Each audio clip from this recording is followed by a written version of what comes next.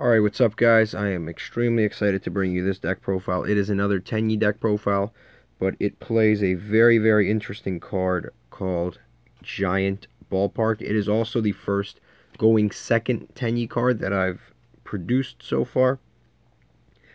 Uh, let's just get started, honestly. Play three copies of it. Adhara, it is, I'd say, the second best, probably, yeah, probably the second best Tenyi card in the deck because this one basically, first of all, any Tenyi monster, you can special summon if you control no effect monster. So if you control no monster, you can special summon it for free. And then once you control a non-effect monster, like a non-effect link monster or a normal monster, you can also special summon it. Uh, second effect, if you control a non-effect monster, so that so you can control effect monsters and a non-effect monster, which you have to have at least one. So this again can mean like a token or anything like that. Uh, so basically, if you control a non-effect monster, you can banish this from the graveyard and then uh, add a banish card from your from your, your banished worm monster uh, back to your hand, which is really really cool. Uh, and yeah, it can add some really really nice stuff. We'll talk about it later. But uh, next we've got three copies of Tenyi Spirit Vishuda. This is actually the best one. Uh, so the awesome card awesome part about this card is that you can special summon for free number one but number two you can banish it from your graveyard or from your hand in order to bounce a card on your opponent's side of the field. And i have some sick combos with this card but we'll reveal that in a second. Uh, we play two copies of nahata so yeah we play three of the good ones and then of all of the average ones we play two. Uh, two copies of nahata this one basically you banish and you make your opponent's monster lose 1500 attack uh, during the battle. And this one is actually one of the only like quick effect ones. You can activate it during either player's turn. Uh, the first two that I showed you, you cannot activate during either player's turn. This one you banish if your a non-effect monster on your side of the field gets destroyed. You can bring it back and then pop an opponent's monster, which is pretty cool. Uh, and this one is another quick effect one. Uh, basically, if your opponent targets one of your non-effect monsters, uh, you can banish this from the graveyard, negate and destroy. The card that targeted it uh, doesn't work against Sky Strikers. Some people were saying in my last video that card's really good against Sky Strikers. Uh, this card is actually not good against Sky Strikers because Sky Strikers have to target a non, usually target an effect monster. Like if you read uh, Widow Anchor, it targets an effect monster, negates its effect, and then takes it. But you don't have any effects to negate anyway. You're not an effect monster. Usually a normal or a non-effect monster. So this card just doesn't like that just doesn't do anything against Widow Anchor anyway. But it's good against other stuff that does target. Uh, but that is it for the Tenyi cards. Next we play three copies of Insect Knight. This is the strongest insect monster available as of right now. There's a new one coming out, who knows when. It was announced. Honestly, it's probably supposed to be in Soul Fusion. It probably got cut because of another card. Uh, but this is the strongest normal insect monster that you can play that I could find. That's level 4, that's summonable. So it's good for that, but there's a 2000 attack one coming out. I don't know when, but it is coming out. Then we play also three copies of Neobug. This is another just normal insect monster. I wish I could replace Neobug for the one that I just talked about. It's something something C. If you look it up, it's like a 2000 attack normal insect monster. It should honestly it should have been out with the same time that Gokipole and the Giant Ballpark came out, but unfortunately it got cut. Uh, next, we play one copy of Gokipole. Uh, again, this is a going second deck, just to remind you. This card basically, if it's sent to the graveyard, so it's like a if it's sent to the graveyard, so it never misses time, and you can send it with any effect. So that's really cool. But basically, when you send it to the graveyard, you can add an insect monster's level 4 or lower to your hand and then you can uh, if it's if it's a normal monster special summon it and then destroy a card with higher attack than that monster. So it's like if you send this to the graveyard it's usually like a plus plus what is that? Plus one. So a pretty decent card. You only play it at one because it's like a utility card. You don't want to ever draw it. You just want to send it off either the field spell or one of your other effects. Uh, next we play the token generators. I play three copies of Mare Mare in this build more than anything you definitely want to play three I always play three because I, I say this card is not a brick. Because a lot of people tell me to play one, and they're like, well, you you know, you can always send with Vessel, but like this card doesn't search Vessel. So if you don't draw Vessel, then you don't get to use this, which sucks because this is a This card is a plus three, so I, I like I, I don't understand a world where you wouldn't want to use, where you wouldn't want that in every single one of your opening plays, either going first or second. Because in the fir going first play, this card is a one card Apollousa. This card is a one card FA Dawn Dragster. Going second, this card is a one card Borreload, one card Borrelsword, one card Avramax. Like this card does so much for the deck. It's like a one it's like a one card boss monster. And when I say one card, I don't mean like this and the tokens automatically go into one of those, but you can link climb because I know somebody said last time like hey, you know, it's not actually a one no, it is a one card. You got to link climb. Uh, but yeah, basically it's a it's like a one card uh, one of those. Also you can because the tokens are also worms, you can actually use it to summon your Tenyi uh, Shaman, which is really cool. So I, I, I don't see why you wouldn't play three. You always, always, always want to start with this card. I wouldn't ever play less than three of this. It just doesn't make sense to me. Uh, next, we've got one copy of Phantom Skyblaster. This is in the fourth token generator. You don't have a like this deck doesn't normal summon, so it doesn't matter. If you just play as many good normal summons as you can, and this happens to be the best normal summon in Yu-Gi-Oh right now. Uh, in, ter in terms of for for a, a generic, this is the best generic link link building uh, normal summon in the game right now. I wish it was at three, but it's unfortunately not because again, it's our only like it's our only normal summon in the deck. And this is for the wild stuff. We play three copies of Lava Golem. Oh my god, do I love this card. Oh, jeez. Alright, so, like, your opponent could have a full a full board. Like, I'm going to use, like, a crazy, crazy board. Let's say your opponent has, like, all of this. And then, like, they have like a like a hieratic hieratic sphere up here, like a hieratic um, the Dragon Balls, whatever they're called, the hieratic sphere.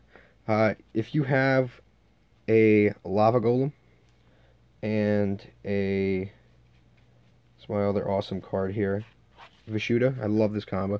So you have a lava golem and a Vishuda in hand. Uh, basically, you go standby phase. They go, oh yeah, go.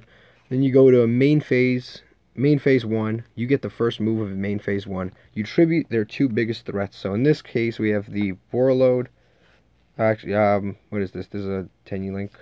Tribute the Borreload. You tribute the Abyss Dweller because we don't want them to negate our graveyard effects.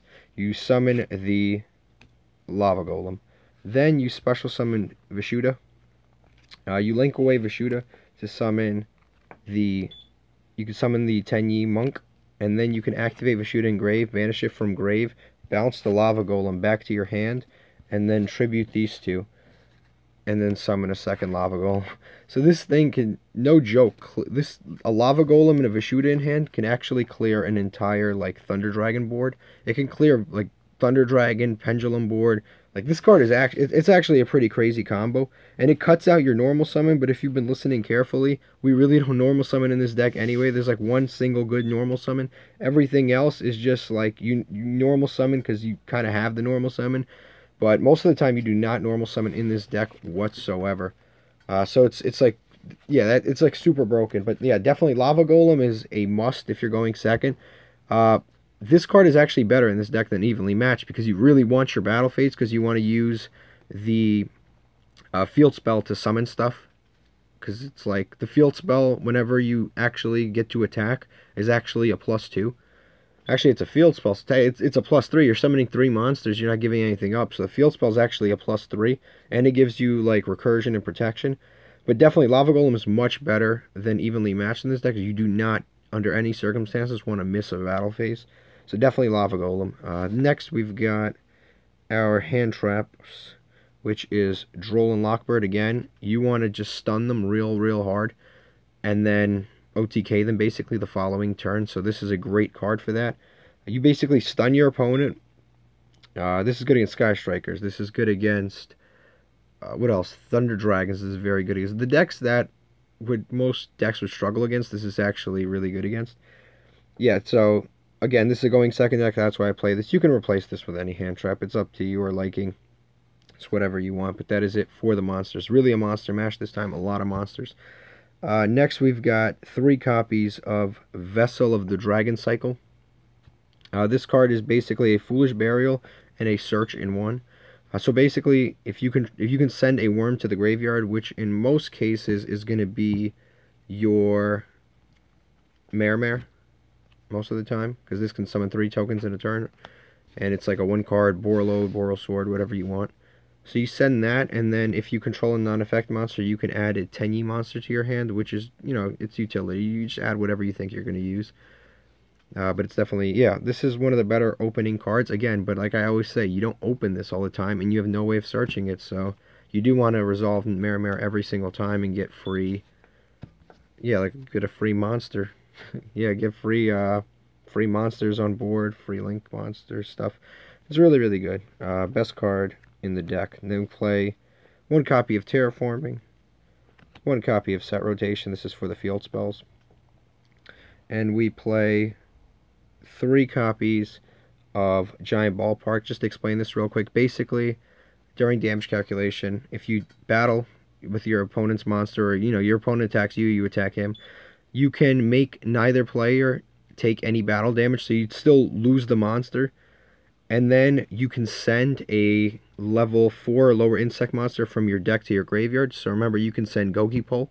So Gokipole is the one that lets you uh, send another one and then and then basically pop one that has higher attack. So you can either take that route or you can, if you send a normal monster, so let's say you send our homie here, Insect Knight, you send like, let's say for example, you send Insect Knight, you can summon two more of that from your deck which just is like, like I said, it's like the field spell is like a plus three when it actually resolves. But it it does resolve a lot because those conditions aren't that bad. Like battling a monster and then getting three monsters is a pretty crazy condition. And this makes it so all of your Tenyi cards are live. Like this one's live. You can actually attack into your opponent's monster let one of these guys get destroyed and then banish this from the graveyard, bring this exact same thing back and then pop that card that you couldn't get over. It's like it's like crazy. And then of course all of these cards uh, are live. Nahata to lower attack. Uh, these you can't activate in battle phase, but they're you know still live. But all of these basically are live, like the Power Rangers. Look at these colors. Yeah, but all of these are suddenly live, uh, which is really good, and they're all 1900 each. So it's like if you have enough gas, you can easily just OTK right there. And remember, you have Lava Golem, you have stuff to get over them. That's the thing, uh, Lava Golem's super easy to get over too if you have, like, first of all, you can, like, let's say you Lava Golem them, they have nothing left. You can either send Gokipole and then, yeah, you can either send Gokipole and then special summon one of these, and then pop the Lava Golem, which is really an easy play. Or you can do that other thing that I said, which is basically you summon three of these, and then you uh, activate this effect, bring this thing back, and then pop the lava golem and just attack three times, which is great.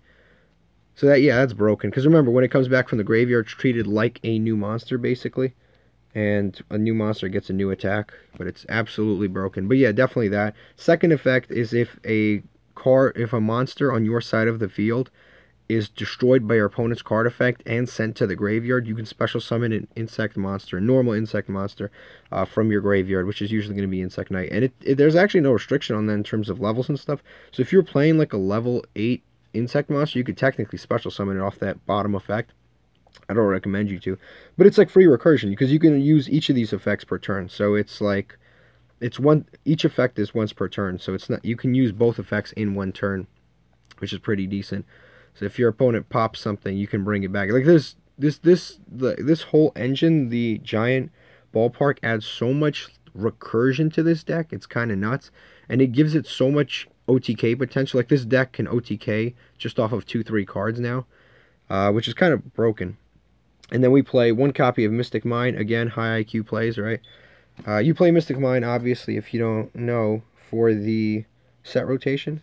So you basically activate set rotation. Uh, you give your opponent Mystic Mine. You give yourself Giant Ballpark. But sometimes there's situations where you would want to give yourself Mystic Mine if they have a if they overextended and have a huge board. This is a very good going second card. Uh, but basically what you do is, uh, yeah, you give them this, and then you take this for yourself, and you're saying to yourself, man, isn't it kind of dangerous to give your opponent Mystic Mine, especially since you're going to get all these monsters off of this? It is, but here's what you do, right? So you give them this, you give them this. You give them, you take the Giant Ballpark, you give your opponent the Mystic Mine. And then if you have a Vishuda, if you have a Vishuda in hand, uh, you theirs is still set because they can't activate it during their turn. You can actually summon Vishuda, link it away, and then in graveyard banish Vishuda, and then bounce the Mystic Mine back to your hand. So set rotation actually becomes a true plus one, which is kind of nuts. You can actually bounce this right back to your hand and then not be affected by it in any way. So yeah, just the killer combos continue. Uh, Vishuda is like such an unbelievable card. Anytime there's a card in Yu-Gi-Oh that bounces, you gotta like, you really gotta respect it because it's gonna have, it's gonna have some crazy potential. Like bouncing cards is one of the scariest thing. But basically, uh, yeah, Vishuda's nuts uh, for for that reason. Also, if you wanted to, you can actually play instead of the Lava Golem, although I wouldn't recommend it. You can actually play instead of Lava Golem, you can play Kaiju's if you wanted to. You can play the Insect Kaiju. I don't know how much synergy it really has with all of this considered, but yeah, it's yeah, you can play the Kaiju's. Uh, next, we play one copy of Monster Reborn. Incredibly good card. Uh, basically, like a free monster from the graveyard. You can replace. This is one of the cards you can consider replacing, but I think it's it's still pretty good because you can bring back one of your bigger Link monsters, like a Link three or something, and then use that for even even bigger Link, which is really cool. Yeah, but basically, I like Monster Reborn quite a lot uh, in this deck, but you could easily replace it for another hand trap. And then three copies of Called by the Grave, this last main deck card. Called by the Grave is really good. It lets you go through with... You, you, there's only a few cards that your opponent could really call by the Grave. And that is the Field Spell. And... Yeah, this is the Field Spell they could call by the Grave because they can... Yeah, Field Spell and Mare Mare they can Veiler. There's a, there's a, there's a few cards that they can like Veiler that are key combo cards. So there's stuff like Mare Mare, the token generator. There's also the one of the main cards you definitely don't want to get hand trapped, which is Shaman. And then of course we have the Vessel for the of the Dragon Souls, which definitely you don't want to lose. But there are a few cards that can get hand trapped, but I would say yeah, I would say keep this. But I mean, if you wanted to, um, I have them out here. Uh, you could play three impermanence if you think that would be more useful. Impermanence, or even I don't. Again, I don't, I think evenly matched isn't good. You can play three red reboots.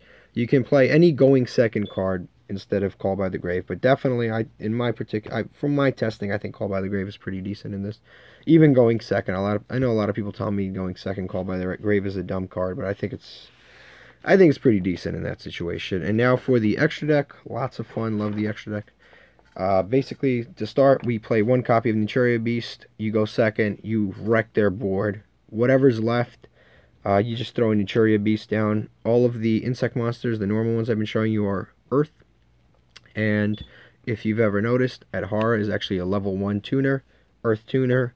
All of the insect in, oh yeah, all of the insects here are level 4 Earths. Easy Naturia Beast. You just, you wreck their board, and then you throw Naturia's Beast down, and you just, they can't really do anything. And especially against Sky Strikers, like, there's very little that they can do against Naturia Beast. Obviously, they have some plays, hard drawing, like Widow Anchor is not going to help because you can just negate it. And then, basically, if they don't have impermanence, they've lost. So that's why I really, really like this card. And what's awesome about it is every time you negate, you actually mill. First of all, the negate's not once per turn. You can negate 50 times in a duel. It doesn't matter. But basically, you mill cards off the top of your deck, and most of the time you're milling the Tenyi monsters, and then they get additional effects in the graveyard to protect and to do all types of stuff and to bounce. And it basically gets this scary loop going where if you have if you get a Naturia Beast on the field against the deck like Sky Strikers that rely on uh, spell cards. You, it's like an auto win. Uh, then we play one copy of Borreload Savage Dragon. Uh, there's a few ways to make this. You can use the this and this to make it. You can use the Mare Mare. Every time you use Mare Mare, reduces the level by one, but it spawns a level one token. You can use the tokens to make a Link 3, and then the Mare Mare will be basically a level 4 tuner monster, and then you can use any level 4 in your deck and Mare to make this, and then you can attach a Link monster and have free negates, which is crazy cool. Uh, we play one level 4, which I'm I'm on the fence about. I don't know what... I, I There's more that I can do, but at the same time, I don't know. So, yeah, this is probably one of the better level 4s to play. You can play Tornado Dragon, you can play a few others. Uh, this is our only rank 4. I was considering the Utopia double package, but it just adds unnecessity to the deck. like the deck already has a decent amount of OTK potential as is. I don't even know if you need the Utopia double, but you can definitely play Utopia double. Don't get me wrong, you have a ton of level fours in here. But I play the Abyss Dweller, and yeah, like I said, there's a few other rank fours you can consider. I think this one's good.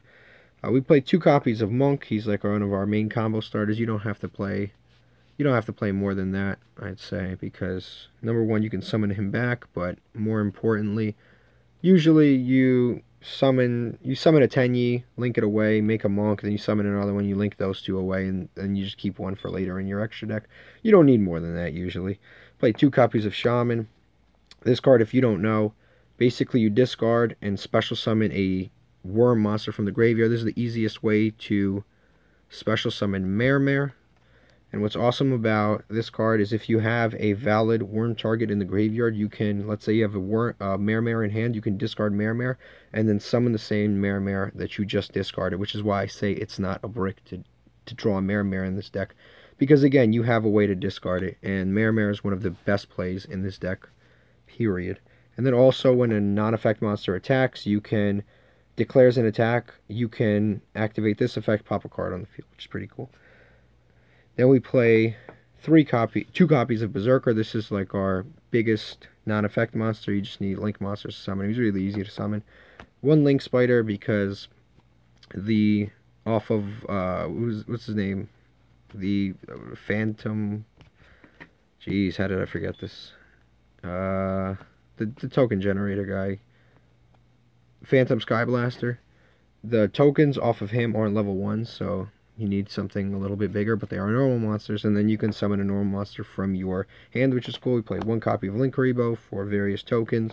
Proxy Dragon, because it's actually better. It's points sideways than other other cards. Most of the time, you'll be summoning in the main monster zone. One copy of Apollousa, Bow of the Goddess. Uh, free negates, super easy to make, very good going into a battle phase, so you can just negate stuff after you destroy, nothing floats. You just negate all the floaters, it's awesome. You just attack and they try to like, oh, effect engrave. Nope, just turn that off. Uh, Mekk-Knight Crusadia Avramax. Insane card. If your opponent overextends, makes a big board, you just summon this. Attack a special summon monster. This this card, like like sit down and read. I can't believe how cheap this card is. 13 bucks. It's probably one of the better Link 4s. Just go to TCG Player right now and just read all of this card's effects. Like the effects are nuts. It has like four effects that individually are very good. And it's very easy to make. It's two monsters, special summon from the extra deck, so you summon this. Super easy to make. You can use like the Tenyi Link 3 monster and like a proxy spider, and then you can make it easily. And then we play one copy of Borreload. I think it's better than Borrelsword personally. Uh, not as much for OTKing, but very good for getting over stuff. And you spit out Link Force so easily in this deck. You can literally make this at, at the drop of a hat. It's just so, so easy to make. You have all those token generators I showed you. And then just the regular, just the regular old Tenyi engine just throws down so many quick cards. Uh, but that's it. Yeah, I'm very excited about this deck. I don't know if I can really do test hands. I, let me know if you guys want to see that. I don't even know how I would do test hands with this deck. Because technically it's a going second deck. So I guess I could like proxy an opponent's Thunder Dragon board or something and just show you guys how to play against that. Uh, but I, yeah, I don't know if I'm going to do test hands for this. Let me know if that's something you guys want to see. I'm definitely very excited about this deck. I think it's it's like super fun. It's probably it probably is the best way to play this deck, to be honest with you, because you get to utilize all of your effects. You don't just like make a board that you sit on, but you actually get to play all of the Tenyi monsters and you know activate them from grave. I was playtesting it earlier. I was playing testing it online. I was playtesting it in person, and I, I you know I lost very little. I, I gotta tell you, I lost very few games. Uh, it, this deck doesn't really brick all that much. Like as long as you draw two Tenyi monsters, you can do all of your combos and set up a decent decent attack strategy. especially if you get to, especially if you get a lava golem or you get one of the what are they? One of the homeboys, the giant giant ballpark, and you start get going off with that. Easily make one of those. Naturia beasts are spit out at at nauseum very easily. But definitely an awesome deck. Give it a try. Uh, subscribe if you enjoy the deck profile, and let me know if you want to see these test hands.